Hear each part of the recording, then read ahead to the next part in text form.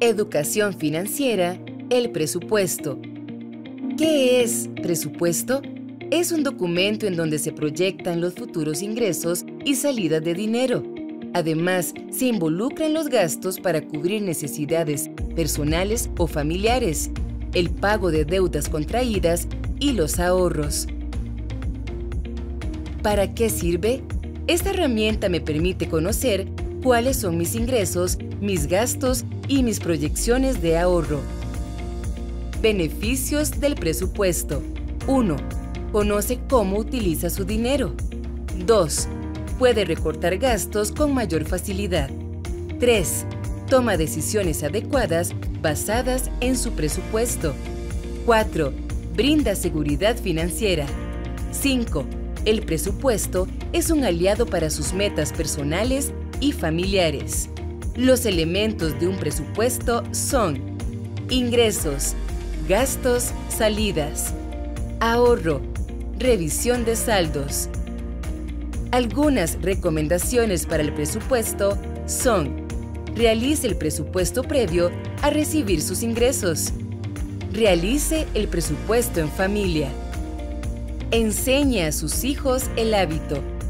Apéguese al presupuesto. Guarde todos los comprobantes de pago. El ahorro siempre debe de estar contemplado. Asigne un monto para los gastos hormiga. Haga una lista para el supermercado o feria. ¿Cómo se elabora un presupuesto?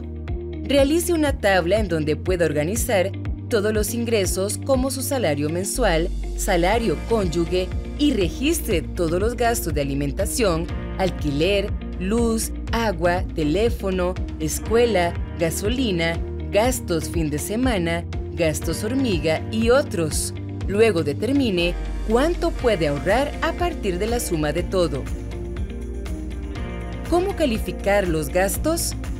Clasifique en una tabla sus gastos fijos obligatorios, fijos no obligatorios, variables necesarias, variables no necesarias. ¿Cómo reducir gastos hormigas? 1. Anote todos los gastos sin importar qué tan pequeños parezcan.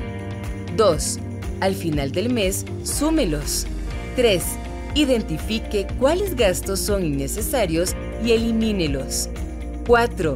Presupueste un dinero todos los meses para esos gastos. Recuerde, tener éxito financiero es saber planificar y presupuestar. La educación financiera es importante. La planificación debe de hacerse en un documento, no puede ser mental. Lo importante es iniciar, es crear el hábito. Para finalizar, le invitamos a revisar el documento del presupuesto y completarlo con su información financiera.